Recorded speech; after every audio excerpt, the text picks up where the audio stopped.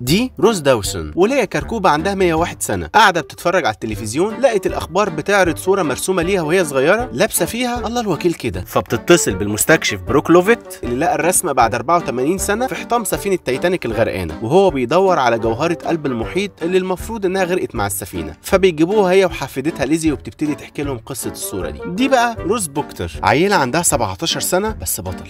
بتسافر مع أمها الحرباية وخطيبها كال هوكلي المليونير مليونير من إنجلترا لأمريكا سنة 1912 من خلال سفينة تايتانيك. كال بالنسبة لأم روز هو خاتم سليمان اللي هيحقق لها كل أحلامها وينقذها من الديون. أما بالنسبة لروز نفسها فهو تنين. وروز بالنسبة لكال تبقى أحلامه كلها. وعنده حق الصراحة. أم روز بقى بالنسبة لكال تبقى حماته عادي. روز بتبتدي تتخنق من تحكمات أمها والطريقة اللي كال بيعملها بيها زي إنه بيمنعها تشرب سجاير وبيحاول يرضيها بأي طريقة ويحقق لها كل اللي نفسها فيه فنفسها بتجزع كده. ده بقى جاك داوسون المعروف بجاك الشحات رسام أمريكي عنده 20 سنة ما حلتوش اللضى بيكسب هو بريزيو صاحبه الإيطالي تذكرتين لسفينة تايتانيك في لعبة قمار وصاحب الحانه بيقول له الحق فاضل خمس دقايق بس على حركة السفينة. فراح جاك ساب مدرسته ورمى كراسته وراح جر شكلها. فقام حد من ركاب السفينة قال له فكك دي برنسيسة المركب. ما تحلمش روز وهي بتتعشى بتتخنق من الترف اللي هي عايشة فيه وبتقرر تنتحر. اللي هو نار جهنم أهون من العز اللي أنا عايشة فيه. وبيشوفها جاك وهي مطلعة جسمها بره السفينة عشان ترمي نفسها فبيقول لها ما تنطيش. فبتقول له انت مالك؟ لو قربت مني هرمي نفسي. فبيقول لها خلاص نموت مع بعض. لو نطيتي هنط وراكي. خلصانة بضيق تنفس. وبتقتنع روز بكلامه بس بتتكعبل وتقع وجاك بيلحقها. وبيجي كال والأمن يشكروا جاك برطمان الجدعنة ويقول له أنت عملت عمل بطولي فأنا هكافئك. وهتتعشى معانا بكرة كمان في مقصورة الاغنياء وبيروح كال يدي خطيبته الجوهرة بتاعت قلب المحيط هدية فبتقول له أوف دي تحفة. دي فيها ترف وفخامة يجيب لك كتاب بتاع أربع سنين. تاني يوم روز بتقابل جاك على سطح السفينة وتشكره على اللي عمله. ولما بيسألها أنت بتحبي كال ولا لأ؟ بتقول له بقول لك إيه أنت إزاي تسألني سؤال زي ده؟ ده أنت وقح قوي. بقول لك إيه اطلع بره ال department بتاع الاغنياء يا حيوان. بقول لك إيه وريني رسوماتك كده. إيه ده؟ ده أنت فنان بجد. بقول لك إيه عارف أنت لو لسه ما نزلتش application أطلب؟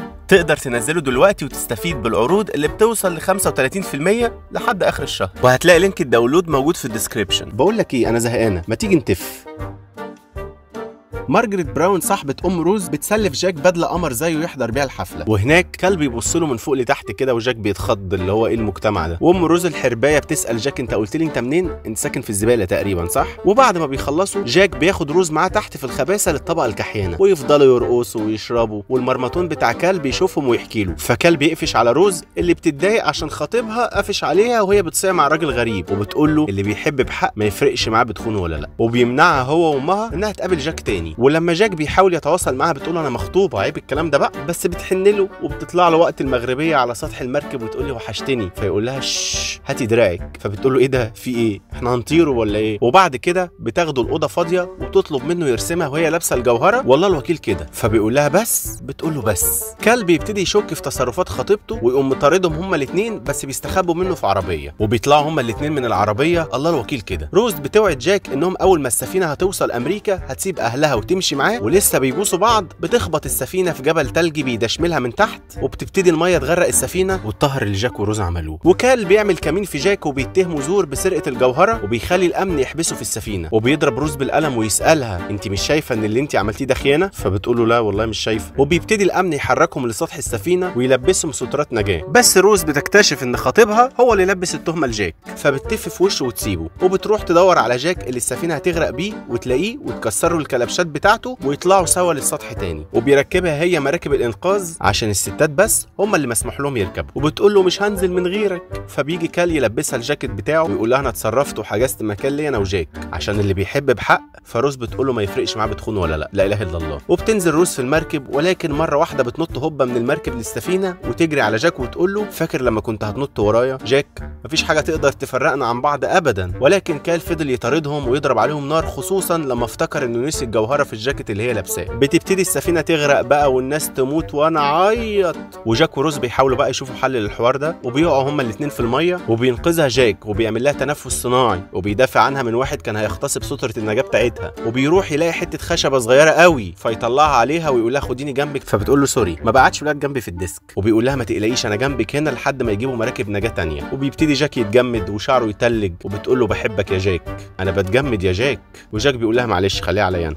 بيخليها توعده إنها ما تموتش. بتقيل روز حبة كده وبتفوق تلاقي مراكب النجاة وصلت. فبتقول له يلا يا جاك. فبتلاقي جاك بقى تلجاية. فبتقول له جاك أنت مت؟ I'm not even sorry أنا هنفذ وعدي وهعيش. بالسلامة انت يا اسطى اللي بيحب بحق ما يفرقش معاه يموت ولا لأ. بعد ما روز وكال بيعيشوا بيدور عليها عشان ياخد الجوهرة بتاعته ولكنها بتهرب منه. وبتوصل أمريكا وبتسمي نفسها روز داوسون على اسم جاك. وبتتجوز وبتخلف وبيبقى عندها حفيدة اسمها ليزي. وبعد ما aunty روز بتخلص حكايتها بيسألها بروك. فين بقى الجوهرة؟ فين الكنز؟ قالت له يا ابني الكنز في الرحلة. ما تنسوش تنزلوا application اطلب عشان هو الراعي للفيديو ده وتعملوا لي follow على ال profile وعلى ال page بتوعي وعلى الانستجرام كمان يا ريت عشان بنزل عليه stories خاصة بيه وعلى اليوتيوب لو انت من جمهوره. وتستنوا فيديو جديد كل يوم جمعة الساعة 8 وما تنسوش تعملوا follow لأحمد رضا كمان عشان هو اللي بيمنتج لنا الفيديوهات دي. سلام.